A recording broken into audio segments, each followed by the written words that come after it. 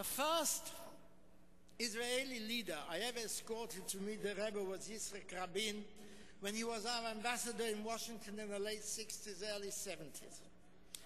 One spring day in 1972, I persuaded Rabin to call on the Rebbe in the name of our then president, Zalman Shazar, to convey Israel's greetings on the occasion of the Rebbe's 70th birthday.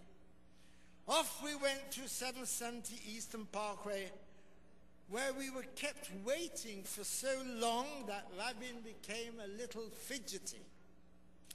This straight as a die agnostic was distinctly uncomfortable among the multitude of bearded men bustling to and fro around him, all identically clad in black suits and fedora hats, and all seemingly indifferent to the peeling paint and the cracked linoleum of the Tudor style edifice that houses the headquarters of the World Lubavitch movement.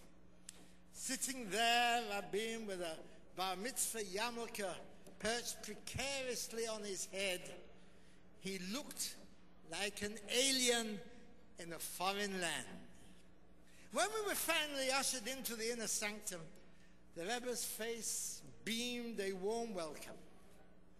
It was an angelic face, half curtained, so to speak, by a square grey beard and topped by the trademark Lubavitch black fedora hat. However, Rabin seemed unmoved. He displayed no interest when the Rebbe spoke to him of things celestial. But once the Rebbe began questioning him about certain of his strategic decisions during the Six Day War, Rabin, you will recall, was then chief of staff.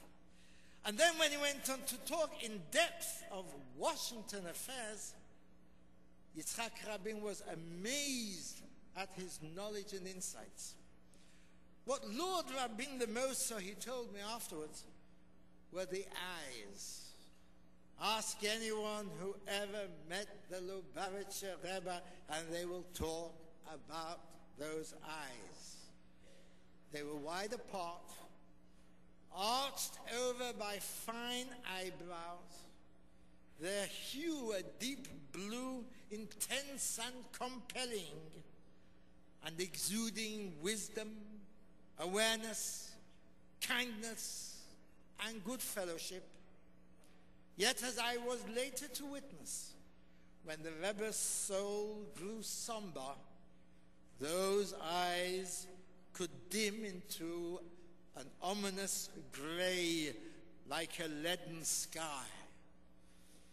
I got to know those eyes rather well over the years and gradually came to understand that they saw things that the average person like me could never see. They were the eyes of one who could discern poetry in the mundane, mystery in the obvious, and large issues in small things. Said Rabin to me as we left, I just met an extraordinary leader of our people. That man knows more about what's going on in Israel than most of the members of our Knesset. A short while later, on a Purim Eve, I escorted our president, Zalman Shazar, to meet the Rebbe.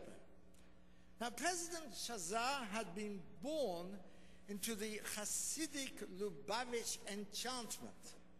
And on his rare visits to New York, he would abjure diplomatic protocol, choosing to call at 770 as a Rebbe's disciple, rather than solicit the Rebbe to call on him at the Waldorf Astoria as a head of state. And this greatly aroused the ire of our then Prime Minister Golda Meir. What does Golda understand of these things? Shazar grumbled as we drove to Brooklyn in a burnished limousine escorted by NYPD outriders, sirens shrieking. She wouldn't even know what a Lubavitcher Chassid looks like, even if she saw one. Well, this was not quite true. I heard her say so myself. She told me that in 1948 she was appointed Israel's first ambassador to Moscow. Stalinism was at its height. Jews Jews had no rights whatsoever. Worse still, practicing Jews were persecuted. The first Shabbat after I presented my credentials, Golda told me, my embassy staff joined me for services at the Moscow synagogue. It was practically empty. But the news of our arrival in Moscow spread quickly. How did it spread? Lubavitch Hasidim spread the word through their covert network. Throughout the darkest Stalinist days, these Hasidim kept the spark alive. Thus said Golda to me.